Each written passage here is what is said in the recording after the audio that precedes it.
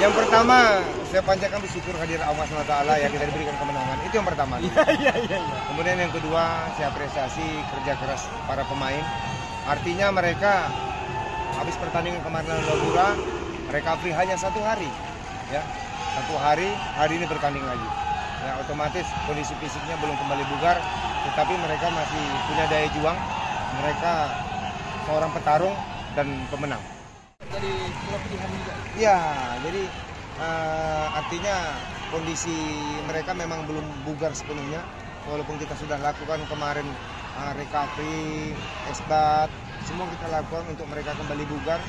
Ya, tapi yang namanya istirahat hanya satu hari pasti untuk pertandingan berikutnya kurang maksimal. Kalau informasi saat ini uang bakal ditambah ke Liga 2 mungkin ada penambahan lain. Eh, Ya berapa persen ini kira-kira kurangkannya? ya pasti ada penambahan. Mungkin ya ini juga baru kita kedatangan ya pemain bawah dari Liga 1 dari Dewa United. Kemudian. Ya, tadi. ada satu dari Dewa United. bukan. Bukan. kemudian juga ada dari center back kita juga ada tambahan dari kemarin juga pemain kita dari PSMS Medan ya Abdi Muladi ya. Kemudian ada fullback kanan dari Dewa United yang Brazil juga sudah datang Nah, ya masih si Hero juga kondisinya juga belum kembali fit sepenuhnya. Artinya ya karena terlalu lama dia gabung dengan kita juga baru sekitar empat hari ya. Jadi kondisi fisik juga belum kembali. Makanya belum kita kasih bermain jam masih kita ya di menit akhir di 15 menit 20 menit. Kalau hitung-hitungan coach kira-kira berapa waktu lagi dia bisa?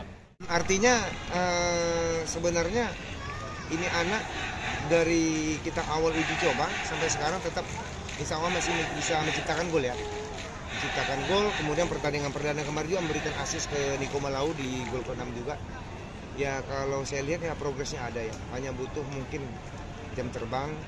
Ya tapi saya kepada seluruh pemain saya yakin dan percaya mereka semua punya kemampuan. Tapi ketemu lagi nih dua Iya. hari lagi. Iya. Kira-kira bagaimana nanti coach? Karena menang kalah pun tetap SMS Medan akan ke final kan? Ya artinya setiap pertandingan tidak ada seorang pelatih pun yang mau kalah.